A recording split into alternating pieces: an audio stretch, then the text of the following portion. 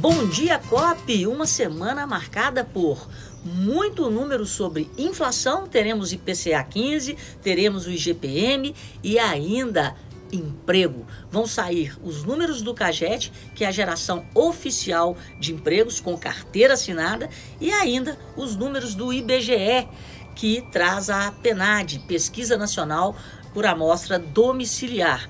Emprego, inflação no radar da semana. Fora isso, teremos ainda política. E a política, é claro, interfere no andamento da pauta da economia. Amanhã será instalada a CPI para averiguar a gestão do governo em relação ao Covid-19. Dependendo da temperatura da CPI, o mercado pode reprecificar o preço dos ativos. E por falar em preço dos ativos, até aqui estamos tendo uma recuperação boa do real em relação ao dólar. Na semana passada, a moeda americana teve uma desvalorização de quase 3% em relação à moeda brasileira. E só para lembrá-los, o BOFA, o Bank of America, fez um estudo mostrando que o real hoje deveria valer R$ 4,26. Vamos ficar de olho aí nesse parâmetro do BOFA em relação ao valor de mercado, que hoje está em torno de 5,50. E a notícia boa é que no Twitter, o presidente da Câmara, Arthur Lira,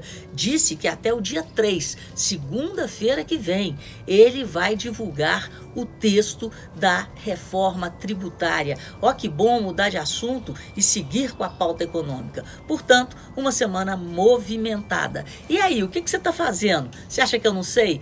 Todo mundo, todas as cooperativas, de olho no lançamento sábado do dia C, dia de cooperar. E você que quiser saber mais sobre o assunto, vai ser de 9 às 4 da tarde, com apoio da Rádio 98. Nós vamos ter vários eventos e o negócio é cooperar, compartilhar, solidarizar e todas essas palavras e ações que na prática compõem o dia a dia das cooperativas.